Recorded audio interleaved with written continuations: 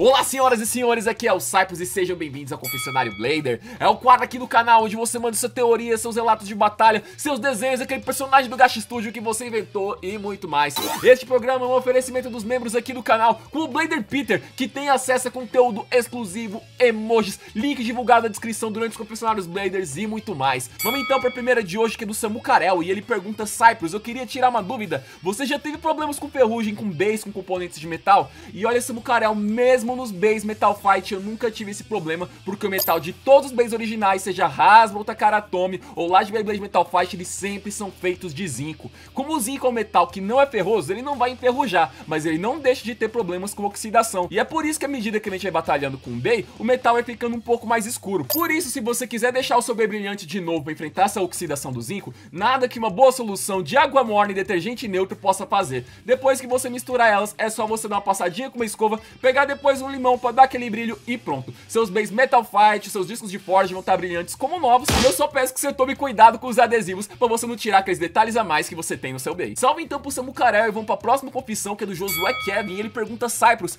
quanto tempo você acha que vai durar a Beyblade Burst Ultimate? E olha, Josué, até onde a gente sabe, Beyblade Burst Ultimate vai terminar com a última evolução do Lucifer, onde provavelmente vai vir o Metal, Bearing e Drift, já que sempre as peças mais raras a Takara Tomy dá um jeito de dar pros Bladers. O Solomon dourado, a gente não conseguiu depois um Death Solomon vermelho, ninguém tinha o Perseus, depois lá veio ele com o Saber branco e dourado, provavelmente vai acontecer a mesma coisa com a ponta Metal Bearing Drift, e considerando que o Drift já era lá do Lucifer, chega aqui pronto, missão cumprida. A partir desse Lucifer, eu não sei se a Takaratomi vai continuar lançando mais base, porque agora a gente tá tendo a evolução de todos os heróis que não puderam aparecer em Dynamite Battle, tá seguindo o mesmo sistema, não tem mais vilão pra aparecer, então agora o Beyblade tá num ponto bem centralizado. A Takaratomi pode escolher simplesmente ficar reinventando mais mais base antigamente, trazendo tudo para Dynamite Battle, ou simplesmente parar por aqui, porque a gente já tá num sistema bastante absoluto. O que provavelmente pode acontecer é a Hasbro inventar o próprio desenho, igual já aconteceu com Bay Wheels e com Bay Riders, ela mesma inventar o próprio sistema, o próprio desenho, onde lá ela não vai precisar omitir borracha, metal e tudo mais, e fazer igual o Bay da Elia, que até no desenho não tinha dentinho, não tinha nada, era igual produto de verdade. Então a Hasbro vai lá, faz um desenho onde fica exatamente o produto dela igual do desenho e não precisa adaptar mais coisa nenhuma. Comenta aqui embaixo então, galera, que nome vocês acham que essa temporada da Hasbro, caso existir no futuro, poderia ter. E um salve pro Josué Kevin.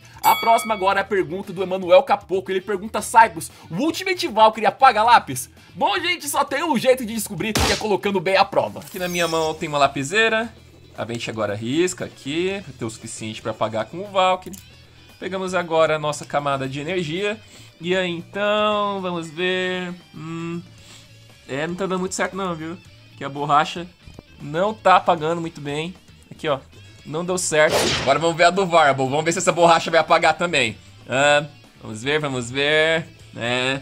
Também não, galera, nem a borracha da ponta. Oi, Emanuel, espero que isso sirva, vocês viram aqui o resultado, não consegui apagar ali direito, a borracha é muito dura, mas agora a gente sabe a resposta desse enigma. Um salve pro Emanuel e vamos pra próxima confissão, que é do Beybladeiro de plantão, que é o Pietro. Ele pergunta, Cyprus, quando eu parei de acompanhar Beyblade Burst GT, eu achava que o Gun era um robô e o Apocalipse era o Excalibur. E vou te contar, Pietro, naquela época, bem que a gente também já tava achando que Beyblade tava acabando, como a gente tá falando agora, já que quando o Apocalipse e o Gênesis foram anunciados, eles vieram numa página toda pomposa falando do fim de Beyblade, mas não era bem da temporada, é porque era sobre o tema do apocalipse, o Gênesis, do princípio e o fim, e o formato que tinha ali o apocalipse no formato da camada de energia, parecia bastante que era o Excalibur até as coisas ficarem mais claras. E agora, felizmente, o Excalibur tá vindo aí em Beyblade Burst BU, aparentemente com Sword Launch no número B200, então a gente tá tendo aqui o Excalibur de fato e o fim de Beyblade também. Agora, quanto do Gwyn ser um robô, realmente, ele tinha um comportamento diferente, afinal, a ressonância dele tinha aquele brilho de olho rosa, ele também tinha um avatar todo cheio de placas, mas ele era só um menino com uma ressonância diferente, ninguém é robô aqui, ele era só um Blader muito poderoso e com bem da ponta elétrica, que infelizmente a gente não tem um Recolor faz tempo.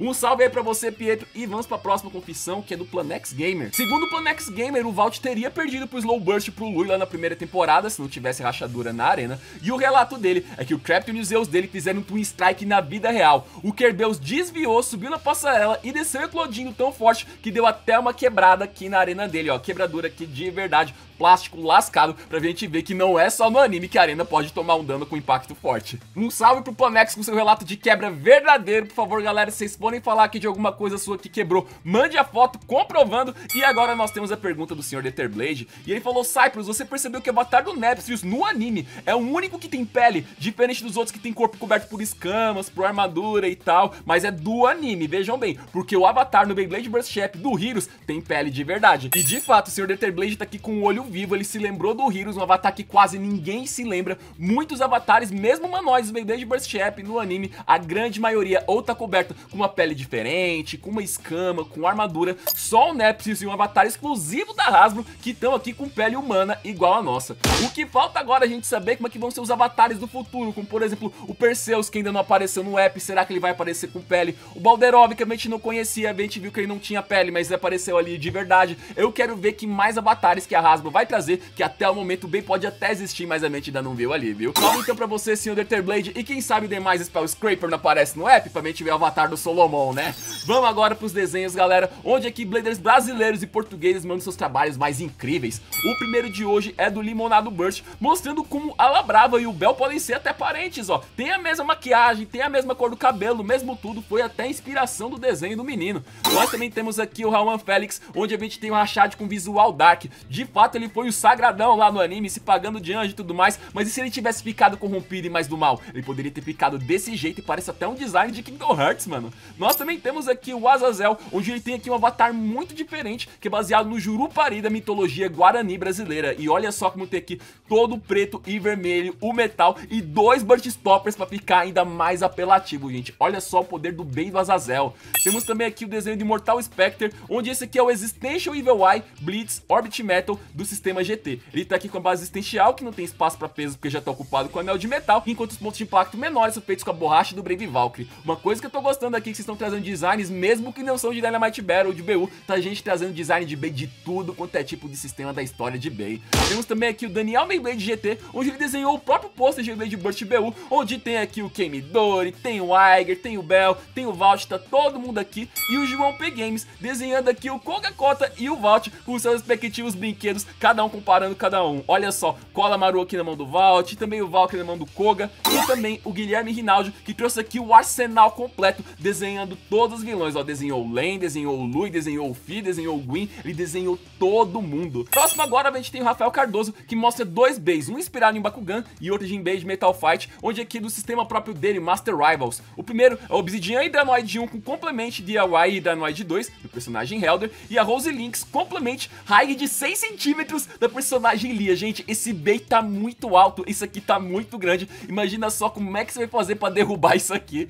Pra terminar, nós temos aqui o desenho do Kawan Santos trazendo não o Gwen, esse aqui é o Gwen, um parente do Gwen que adora fazer amigos onde ele passa, estudioso e inteligente no Beyblade com o objetivo de se tornar o mais forte do mundo. E uma coisa que eu percebi aqui no desenho do Kawan é que ele lembra bastante o Kevin de Honkai Impact, que aparece bastante aqui nos nossos quadros favoritos do mês, onde eu tô jogando muito esse jogo quando não tô no Larry Rip, e esse preto e o azul me lembram muitos dois. 2. por tanto que a gente viu da história de Beyblade até hoje, galera. Só falta uma coisa que tanto tá a Takara quanto a Hasbro estamos devendo, que é versões de Metal Fight e Beyblade Burst. Cadê o Storm Pegasus P5? Onde é que está um Galaxy Pegasus versão Burst? Tanto a Hasbro quanto tá a Takaratomi só falta completar essa lacuna, gente, pra gente ter todos os Beyblades de todas as temporadas, de uma maneira ou de outra, eclodível no Baystage, pra enfrentar o Aquiles, o Valtriek e muito mais. Se você quer aparecer aqui no nosso confessionário Blader, fique de olho na nossa guia comunidade, no nosso Twitter e no Instagram, onde vai aparecer o post correto de você colocar sua foto, seu comentário e tudo mais. E se você não apareceu por aqui, não tem problema nenhum. Nosso quadro sempre está presente aqui no canal, graças à ajuda dos nossos membros. E se você perdeu alguma edição, é só dar uma olhada aqui do lado, onde você pode ver todos os nossos confessionários anteriores. Não deixem de se inscrever e muito obrigado por hoje, Bladers. Até a próxima!